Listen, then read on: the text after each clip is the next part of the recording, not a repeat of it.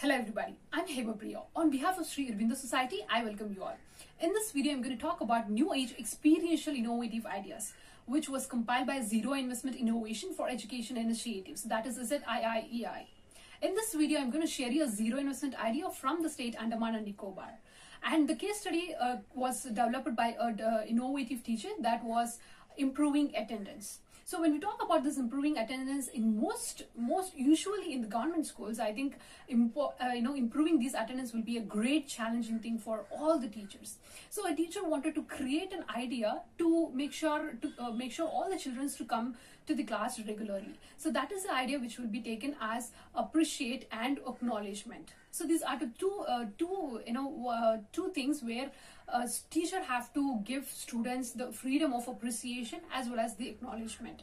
A teacher wanted to give an idea you know uh, to to engage all the students in the class and they wanted to get motivated to come to the uh, come to the class regularly so a teacher will be telling uh, giving all the everyday implementation in the morning assembly first thing in the morning assembly we will be uh, a teacher will be collecting uh, the attendance so one, two, three, roll number is the stu- uh, teacher will be reading their names. So once after the attendance is taken, there will be a percentage of how many boys present, how many of the girls present. So when there is a increased percentage of boys, where boys is much present and the girls has a less percentage, then where a girls will be applauded by the boys. The girls will be get uh, girls will be giving applause for the boys because boys scored the highest percentage same as vice versa. When the girls has the highest percentage of attendance the boys will be getting uh, boys will applause for the girl students. So this is how you know each gender will have an applause and each gender will have an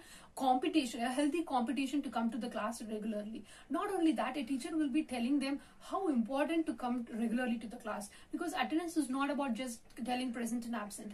It means when you come for come regularly to the schools you you don't miss any subjects and you will be aligned each and every day with your daily morning routines and you will be sticking to the same line where you can high where you can score much marks when you compare to the irregularity of the school uh, school students.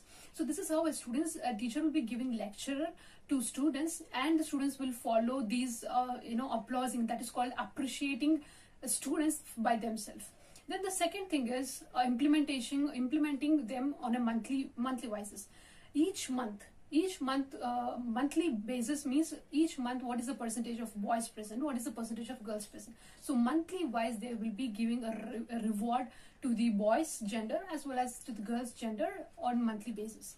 So they will be getting a book as an award or maybe some you know extra points uh, in the extracurriculum activities. So like that uh, monthly wise they will be checking about their percentage checking the gender percentage and you will be getting applauses and as well as reward points for that uh, regularity.